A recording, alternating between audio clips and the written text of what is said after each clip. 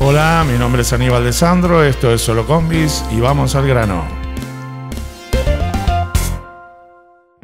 Hoy presentamos doble carburador, dínamo y algo más, Combi BW. Aunque las fotos de este informe no son muy buenas, es un hallazgo porque es una combi original que llegó al taller de Solo Combis Web, donde tenemos la particularidad de conocer cómo era la configuración en las combis alemanas o precedentes a las que conocemos actualmente.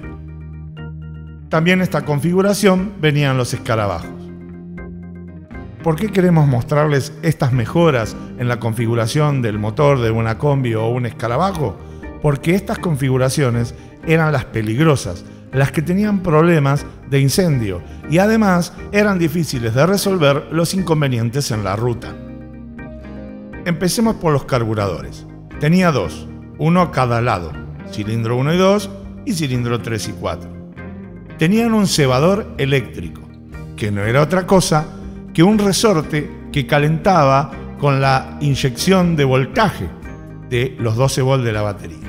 Al calentar, este resorte cambiaba su posición, se comprimía o expandía según la ocasión y la palometa se movía. Los cortocircuitos en este tipo de carburador eran muy común. Y bueno, imagínense, un cortocircuito y combustible.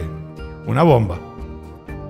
No solo fueron reemplazados los carburadores dobles por uno simple con un múltiple en el medio, sino que también el cebador pasó a ser de palometa con un cable o una tripa, como le decimos en Argentina, que tenía la particularidad de tirarse de abajo del piso de la combi cercano al conductor y la palometa se accionaba o se volvía para atrás y la palometa se abría nuevamente. Esto simplificó las cosas y lo hizo mucho más seguro. La mayoría de los usuarios de combis o escarabajo que me preguntan por qué tenían dos carburadores y si es mejor o peor que un solo carburador, bueno, se podía llegar a bajar un poco el consumo teniendo dos carburadores porque no había tanta pérdida en el múltiple largo. Pero había un problema, si estaban mal calibrados los carburadores, el motor anda mal. Ustedes me podrían decir, bueno, si tiene un carburador solo mal calibrado, también va a andar mal. Pero era diferente. Un carburador solo es más fácil de arreglar que dos. Pasemos a la bomba de combustible, nafta, benzina o como le digan en su país. Esta bomba tiene tornillos y un diafragma intercambiable. Así venían casi todos los vehículos se podía reparar, incluso si uno tenía un kit de reparación, lo podía hacer fácilmente uno mismo. Pero había un problema. Los tornillitos, con el calor que había atrás en estos tipos de motores, se aflojaban y empezaba a salir combustible a través de las dos tapas de una forma de lluvia que mojaba el distribuidor, los cables de bujía y se prendían fuego los motores. Por eso se inventó la bomba blindada, que es una bomba que no tiene tornillitos y es descartable. Lógicamente, aumentó el costo de reparación al tener que cambiar la bomba completa, pero hizo que el motor fuera mucho más seguro.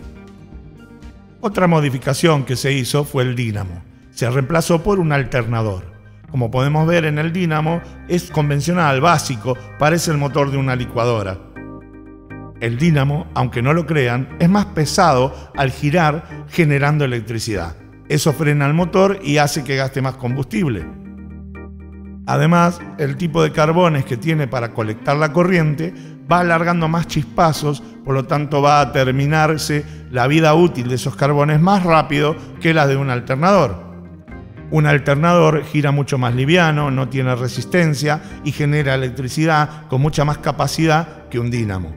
La mejora fue para todos los autos que usaban dínamo, pasaron a alternador. Ya no se usa más el dínamo. Ver un auto con dínamo es una antigüedad, pero una antigüedad bien antigua.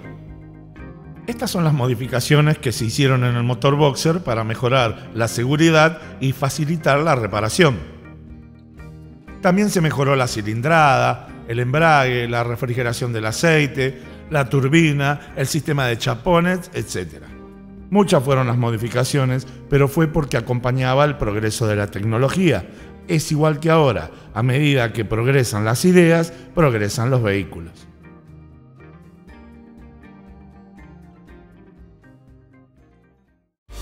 Muchas gracias por su atención, suscríbanse al canal y nos vemos en el próximo Solo Combis, rapidito y al grano.